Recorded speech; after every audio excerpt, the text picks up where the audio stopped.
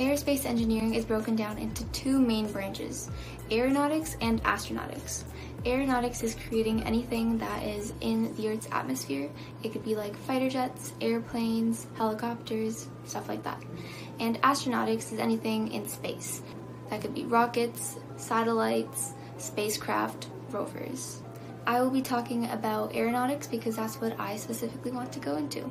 Right now, the classes I'm taking in grade 11 to go towards the aerospace engineering pathway are English because it's mandatory, functions, chemistry, physics, intro to computer science, computer engineering, and technology, robotics, and control systems, which is a SHSM or Special High School Majors program that my high school offers.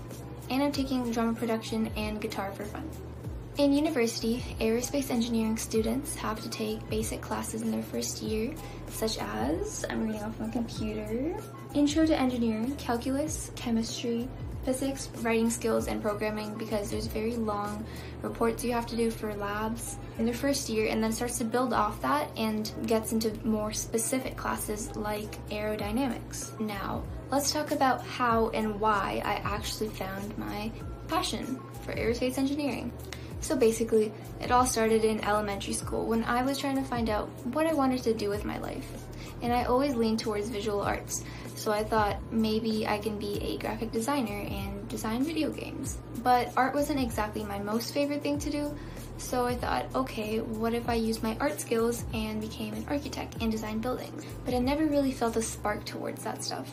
My dad has always motivated me to go towards computer programming because it's a very successful career, but I never really found it fun to sit at a desk all day and code. Until one day, I was studying for my grade 9 science exam and I was going through my space notes and I thought, this is really interesting, but I brushed it off because that was way too much science and math for my brain cells to handle. A few days later, my dad and I were watching the Falcon 9 launch, and I remember watching it and thinking, wow, that's really cool. What if I design something like that?